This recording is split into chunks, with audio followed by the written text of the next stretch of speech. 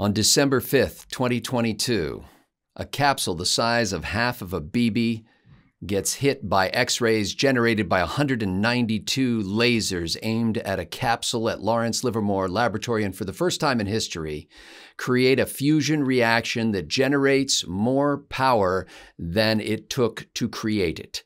This is the breaking news out of the Department of Energy, announced the day that we record this. And, gentlemen, I just want to talk to you about the implications of nuclear fusion in this particular kind of nuclear fusion, which is referred to as inertial confinement fusion, not to be confused with another kind that's related to magnetic uh, forces. In any case, uh, I'm Scott Ott with Bill Whittle and Stephen Green, and this right angle is brought to you by the members at BillWhittle.com. And and men, um, it seems like such a small thing, and in fact, the the measurement of this fusion reaction and the energy that came off of it essentially two megajoules uh, in, three megajoules out. Um, so that was the, the measurement. So they they were trying to generate more energy than they put into it. Um, it. The time that this energy production lasted was measured. It was less than the time that light can travel one inch. So this is. I heard somebody. Inch. I heard somebody on the news refer to it as a uh, as the blink of an eye. I'm like, no, no, no, no, no. Nobody mm blinks their eye that fast. so, in any case, uh, they have managed to create a little ignition event here that generated energy beyond what was put into it. And the announcement came from Energy Secretary Jennifer Granholm, and then several other officials got up and spoke um, about the defense implications, about the implications for long term generation of clean uh, power uh, and clean power that doesn't generate radioactive waste. Um, and and a lot of things that that Bill and Steve have talked about before on this show. I will put uh, a caveat on this. Yes, it was two megajoules in, three megajoules out, but apparently the creation of that laser beam, when a reporter asked later, what are we talking about as far as power from the wall? In essence, like when you. the calculation I just did. I yes. just did that calculation. So the power from the wall was actually 300 megajoules to generate the two megajoules of energy from the laser that resulted in three megajoules, and a target gain of greater than one was their objective, and they achieved uh, their objective. So this is being they, touted. The, Go ahead. I'm sorry. The the the the plus was one megajoule or two, three three in and two out. It was two sorry, in and two three in out. and three out. Two in and three. Okay, out. so I just did the math quickly. Uh, uh, that means that one megajoule is 277 watt hours. We measure our electricity in our house by kilowatt hours, thousands of watts per hour. This is one third of a thousandth of watt per hour. And that means that you could run a 60 watt light bulb for four and a half hours on the power that came out of this enormous machine. But if you built a billion of them, right? No one's pretending that this that this is going to be the limit. Well, that was the question, Bill, because they, they, they the whole thing they said was the the uh, the person who ran the laboratory, the woman who ran the laboratory, said, um, "Now we look at can we make it simpler? Can we make it repeatable? Can we make it smaller? Can we get it to a point last longer over decades that it will be useful for production on a commercial basis?" Doing another quick calculation here. Oh man, well, we got a well, uh, calculator uh, guy. Well, while Bill's doing math, I'll put my two cents in, uh, which will power a light bulb for a fraction of a second. Uh, I, I, I, can't call myself a science nerd because my math skills were never good enough to be a science nerd. But I was always a science fan from the time I was I was a little kid. First Lego set I remember building the you know it wasn't just a collection of bricks; it was an actual kit. Was the lunar lander? It was so cheesy and I loved it. Hmm. All the space stuff, I grew up loving it. Uh, the first coffee table book I ever got, Dad gave it to me. I think I was 11 years old. It was Carl Sagan's Cosmos. I still have it downstairs on the big bookshelves. Uh, so space science laser beams. Give me laser beams. That's I don't even need the freaking sharks. Okay, just I want laser beams. This this has been my whole life, but I got burned badly because I think I was 19 years old the first time I realized just how badly science could screw it up. Remember cold fusion back in uh, 1980? I do. Yes, I do. 89. I certainly do. Yes. Oh, that was exciting. Um, so for, for, Yeah, go ahead. I'm sorry, I, I thought you were done. Oh yeah. Uh, so we had cold fusion that that did not pan out, and it seems like even before that, about every five to ten years, we would have a new fusion breakthrough that would mean clean fusion power in about five or ten years from now. This has been going on at For- least for all 50 of my years. life. Yeah. Yeah. Um, so here's what's interesting about that. So there's a uh, not only is it possible I made a mistake on the math, it's likely, but nevertheless, if it takes this billion dollar facility to produce enough electricity to run a 60 watt uh, light bulb for four and a half hours, that can sound kind of depressing. But the um, the distance from Los Angeles to New York is pretty nearly 2,500 miles, and the first flight of the Wright brothers was 120 feet Yeah. uh, which Yeah. is not the width of the runway, let alone the length of the runway, and um, and so the the the the amount of the output is not what matters. The fact is, you crack the egg. That's what matters, and um, and once you once you can once you can fly, then it's just a question of building better airplanes with more power and and and getting to fly longer and further. If you and once you get more energy out of a reaction than you put into it, then it's just a question of doing the same. It's just iterating it. And the fact that they were able to get more energy out of it than they put into it, and nobody said, "Oh no, there goes Tokyo." Um, like, yes. Fusion. uh, Here's what I predict, uh, and I and I'm and I've felt this for a long time. So for those people who are not familiar, just very quickly, nuclear power, as we've understood it since the the 40s, and nuclear reactors probably started in the 50s, late 50s, 60s here in America. Uh, take heavy elements, and and when you put enough of them together, you re- reach a critical mass. Neutrons come off of these heavy elements. They split other atoms. These release neutrons. This is a chain reaction. Generates a lot of heat, and also generates radioactive spent nuclear fuel. And mechanically, there are ways to to shut down that reaction, but those can fail. They failed at Chernobyl. So once you put all of that uh, radioactive material, uranium or plutonium, in a in a close enough environment, then you have to have a mechanical system to shut it down, right? Fusion is so is so unbelievably complex that if there's the slightest hiccup, the thing simply stops. It just there, it, there, and and the fuel is is usually just hydrogen. It's just it's and and it's a pellet, right? So so this thing cannot. this time they said it was deuterium and tritium. Right. It can't even explode. The second that it starts to explode and damage the inside of the containment field, the containment shuts down. And it's it's over, perfectly safe. There's no radioactive waste. It runs on seawater, right? It is it is the answer. And and my prediction is is that if this starts to get serious after 50 years, we are really suddenly going to see the environmental movement go into spasms, right? Spasms Oh, they'll because they'll they'll do everything they can to destroy it. Yeah. Because I've heard a number of, of leading environmentalists say the worst thing that could happen to planet Earth would be for humans to have a clean, cheap, renewable source of energy. Uh, that that'd be the, that'd be the worst. They hate us. If you, they, they do. So if you have nuclear, if you have, if you can get nuclear fusion, then there is no argument against it. You build, you build as many fusion plants as you want to. It, it, doesn't pollute anything. It doesn't add to the whole carbon, that whole nonsense. It doesn't do anything. It just produces a lot of power.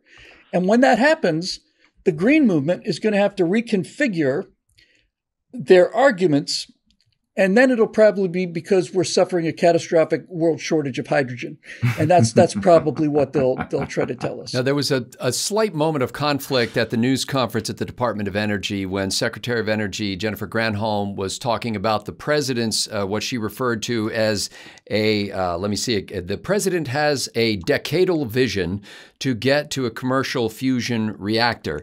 Um, at, at another point, the woman who's running the Lawrence Livermore Laboratory said that uh, she thinks that it will be decades before we get to a commercial deployment of this to a, in order to be able to be a power generating source for anybody. Decades, she said, but maybe not five or six decades, which is what it's been since the first kind of ideas that this could happen to now when you know there's a long gap between the knowing and the doing. And so the knowing started in the 1950s. The doing didn't get here until now. So she still thinks it's going to be multiple decades. But of course, politically motivated people like a president or a secretary of energy are more inclined to say, yes, if we can put a man on a deuterium pellet by in 10 years and bring him back safely. Well, that's the tricky part. Um, from the first Wright brothers flight until Neil Armstrong putting his foot on the moon wasn't even 70 years. Uh, the flight progression was amazingly, amazingly fast. But uh, all the progress that we made in aviation, we made during the first half of, of the of aviation. Basically, all yeah. of it. Um, fusion is so much more complicated than heavier than air flight that I I don't think we're going to get that kind of a, a, uh, a progress acceleration from from zero to sixty in almost nothing nuclear fusion and, and, artificial intelligence have one thing in common is and that is that they're both just five years away and they have been for the last 50 years. Yeah, Uh, and that is um, that alone is is a data point that people should be interested in right? Because if you if you think about that for a second because I'm not exaggerating, people, scientists and engineers have thought that nuclear fusion and artificial intelligence was less than a decade away at the most. And they've been thinking this for seven decades, six decades now, right? So, what is that telling you about the, um, about the mindset of, of some of these cutting edge scientists? They have grossly overestimated their understanding of the problem. They, they have if you if you are saying that we think this thing is 10 years away and you're saying it for 60 years and you still haven't gotten there and it's still 10 years away then you have to ask yourself what is it about your estimation that it's 10 years away that is so off? Why are you why are you well, that wrong for so long? It's because we it's don't know It's much harder than you think it is. we don't know what we don't know you know, we only know but, what we know, and we think from what we know that we can project what we will do. But then we find out, oh, we are children in this little game, and we our our, so our knowledge is so elemental that we're just scratching the surface. Scott Ott is talking to you, carbon future planet is being destroyed computer programs. Yes, precisely correct things are much more complicated than they seem to be. And, and these engineers and these scientists who are predicting these things thought they had it all figured out in their little train set. They thought, oh, it's just this and this, nothing to it. Just put them all together. Bam, boom, there it is. No, it's much more complicated than that. And this is exactly the same thing with this whole environmental argument, right? Planet's going to die in six years if we don't all just start eating bugs. That's what they're saying. And people believe it. And, and it's, it's just in in that case, that's just political lying. It just shows the humanity of the people that are engaged in this. I mean, the, the scientists are people too, you know, and they they're hopeful, they're hardworking in many cases, and they think that they they think that they're right on the cusp of a big breakthrough. I mean, how many people watching us right now have gone through their entire life thinking, today's the day, this is the week, this is my year, uh, this is the time it's going to happen for me. And then it just takes a little longer and a little bit longer. And so that's encouraging. The other thing I love that shows the humanity of these scientists too is that the energy department announced there would be a news conference on Tuesday of this week that we're uh, recording this. And Sunday or Monday, the word already leaked as to what the news conference would be about. And so, so the discussion in the media was already about, okay, they've achieved a fusion reaction and like stuff. So when they go to make the announcement, they're like, ladies and gentlemen, ta-da! And everybody went, yeah, yeah, we know. Yeah, we, we know. Yeah, I saw it in the Wall Street Journal. I think I got the alert on Sunday night that this thing was coming. Yeah. Maybe it was Monday morning. But these these these leaks are almost impossible to avoid now. Um, the thing is, I love the is, uh, Steve when they said uh, the people who leaked this information to them did not want their names released as to not get out ahead of the news. I'm like, wait a minute, you're leaking. It's it's out ahead of the news. That's exactly right. The thing is, as as exciting as this is, I'm not getting excited until I see it repeated because that's the whole point of yeah. science. Well, I, I, I, I, no one stands before me when it comes to appreciation for what the human species is capable of.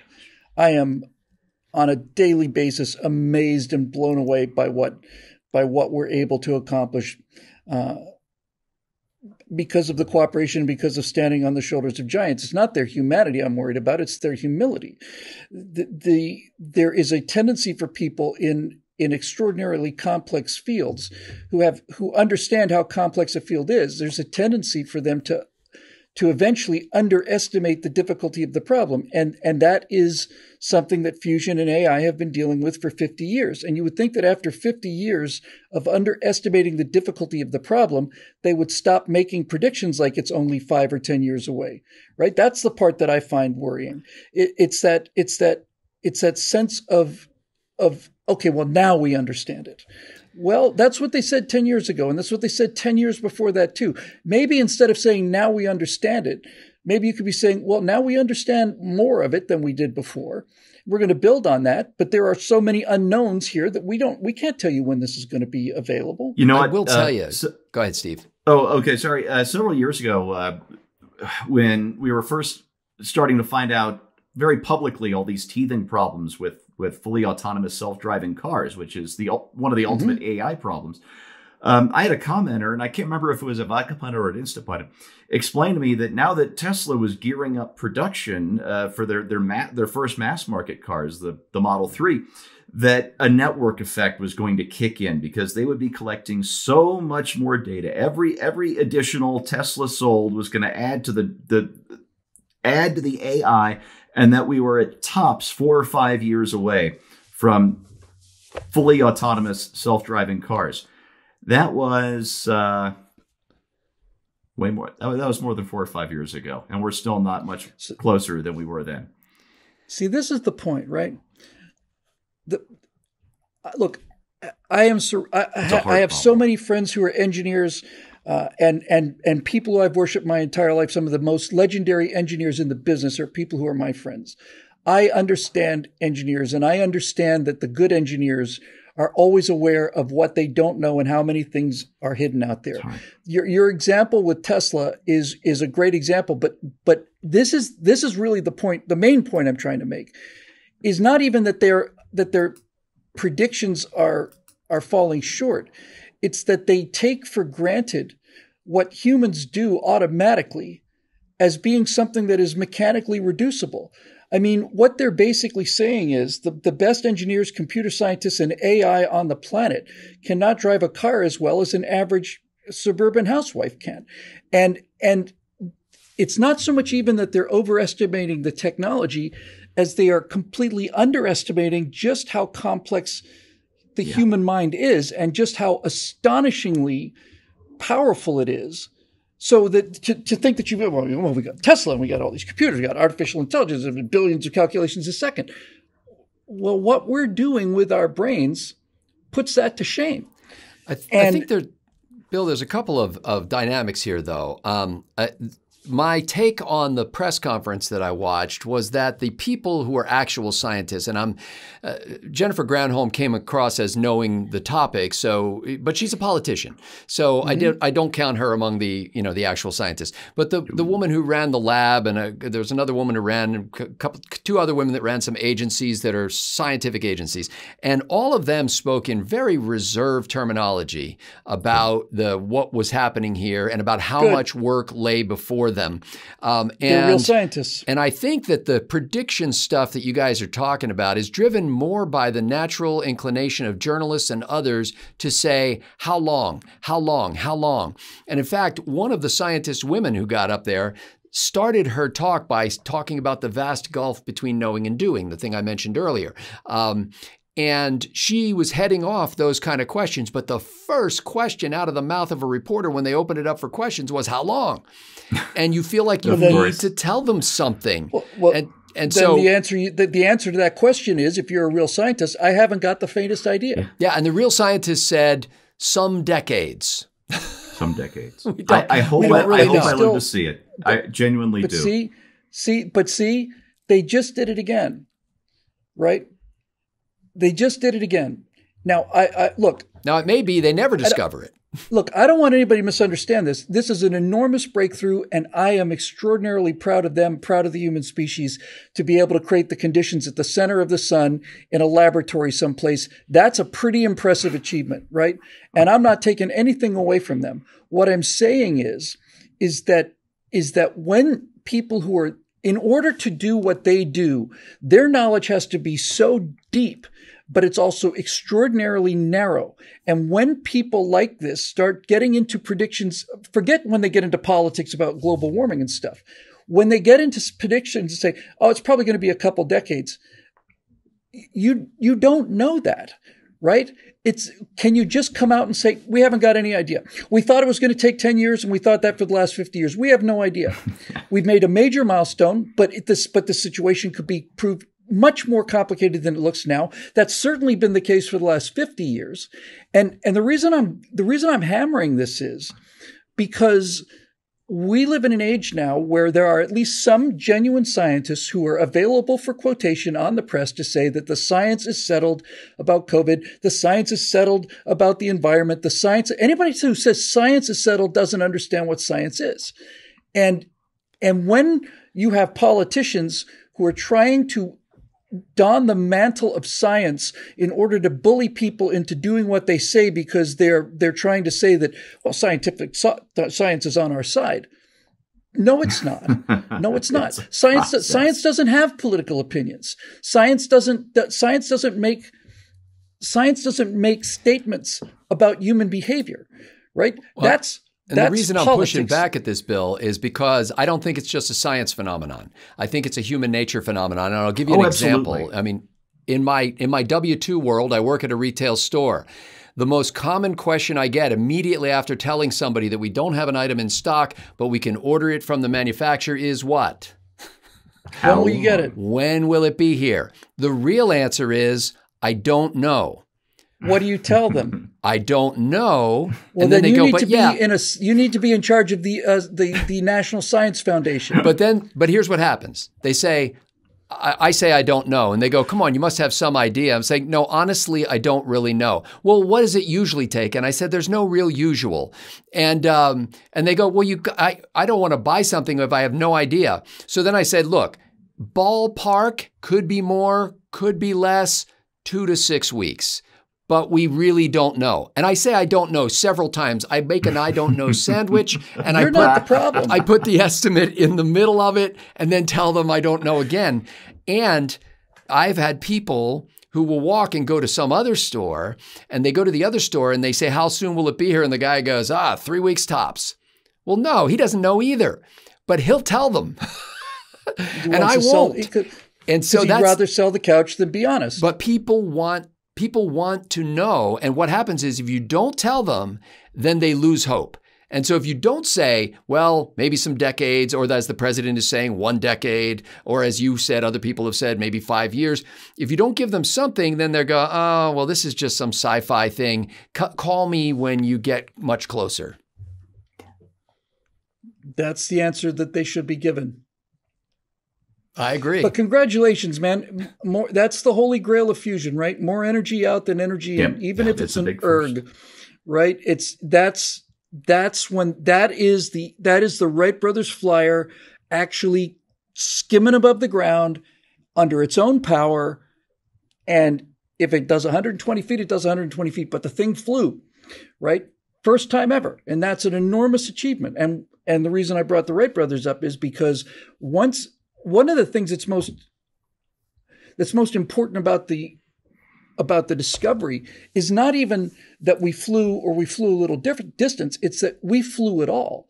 We we we yeah. the, Wright brothers been working on this thing for four or five years before this they this thing the happened. principle. every day right? And they didn't know if it was going to work. So just knowing it works is the incentive to um, is to do more. And by the way after the Wright brothers uh, the, after the Wright Flyer flew, the Wright brothers disappeared for two years. It just just disappeared. They were they were filing patents, right? And and the reason they were filing patents was because the instant it was done, now everybody in the world wants to do it, right? Because they proved it could be done. And and hopefully this is what we're going to see with with with the fusion thing. Yeah, and Secretary Granholm system- said that there are lots and lots of private sector companies that are working right now on fusion, and the government wants to encourage that uh, kind of thing. There's a she she emphasized several times, and I thought surprisingly not in the normal cloying way that politicians do about private-public partnerships. She, like it came across as pretty natural. It's like okay, this is okay, what right. government does, and companies are going to do this, and that's great. We want them to do that. Um, it, it's interesting when you win when you actually create a fusion reaction in a contained space um, and, and it produces more energy than it took to produce the energy, the question that doesn't come out of anybody's mouth at the news conference is hey, how much money have you spent over the past five decades trying to get to this point? Well, this one's worth the money. Yeah. Because because this is the holy grail. Right? You get this right and and and the entire world changes. You get this right, and the environmentalists no longer have any case. There's no longer any any case to to do any of the things they want to do, and and then you literally can grow cotton in the Mojave Desert if you want to, because energy is essentially it's essentially free, it's essentially endless, and it's essentially um, uh, consequence free. Right? It's well, it's it's not building out the infrastructure the is uh, that's going to be pricey.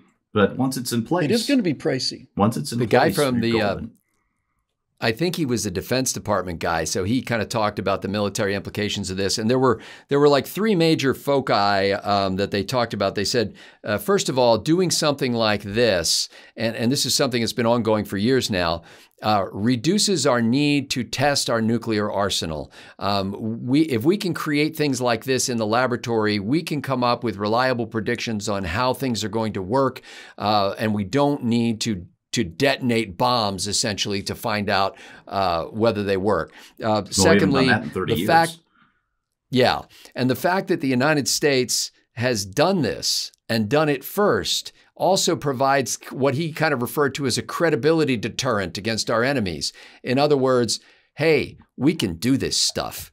And that gives you a little swagger on the international geopolitical stage um, oh. that that lets your lets your enemies know that you know you're not just resting on your laurels of past accomplishments that you have powers. And then finally, um, he said that it helps to advance our non-proliferation goals, and he didn't uh, he didn't emphasize how that is so. But basically, they they made a pretty strong pitch for the defense implications of this, in addition to the clean energy part. And the guy said at one point, he said, uh, this just not only lets you know that the U.S. can do things, uh, but we're hiring. And he was basically saying to young people who have IT chops and engineering skills and math skills, hey, this is Lawrence Livermore Lab, and these federally government funded labs are not some old musty place. We're on the cutting edge and we're hiring and we want you. And I bet they're hiring the best engineers, and I bet they're not hiring according to diversity and inclusion standards. And anybody who gets to work there gets the satisfaction of knowing they're working there because they're the best in the world, and nobody's nobody's going to question that. When I first, when you first told me about the the news that this was working, and they they said, well, we're gonna now we're gonna start doing this. My first reaction was give it to give it to Musk, and and the reason I say that is because there's nothing magical about Elon Musk. Elon Musk didn't didn't he actually did some engineering on on both the Tesla and the and the uh, SpaceX, but he's he he didn't build these things, and he didn't even really design them. The reason that that I would say give it to Musk is because his management style is extraordinarily clear. He owns the company. He gets to he gets to make a single decision that doesn't have to go past a board, and then he hires the best people he can and he expects the very best out of them. And, and he's iterate, open iterate, about this. Iterate. He's saying, I don't care if you fail. You fail as many times as you want to, but you better learn something when you fail. And if you're not giving it everything you've got, then I'm going to find somebody else. That's the attitude that will get you there. And, and often with the government, just, just take, take all of the whole bureaucracy out of it just if you can't imagine that for a second. if you're if you're if you're dealing with this at Lawrence Livermore, right? You are you are constantly asking yourself the question, what is my funding going to be this year? Yeah. What is my funding going to be next year? Is it going to be cut? What am I going to do with this? All of this. If you got somebody like Elon Musk saying, no, we're going to go, we're going to do this until we get there. And we're going to spend whatever we have to spend to get there. So get there. Let's get there quickly If we have to, if we have to blow up 60 rockets in order to figure out how to make this rocket fly, then let's be blowing up a rocket every week instead of every three years, right? If we have to, if we have to go through the failures to learn where the bugs are, let's do it. And so it's, it's not even, it's not like it's him as an individual that is the, the, you know, Dr. Manhattan that just comes, this stuff comes out of his head. It's like he, but he is the only guy out there who understands how you, how you succeed in cutting edge technologies, right? It's a combination of don't be afraid to fail. Don't be afraid to try.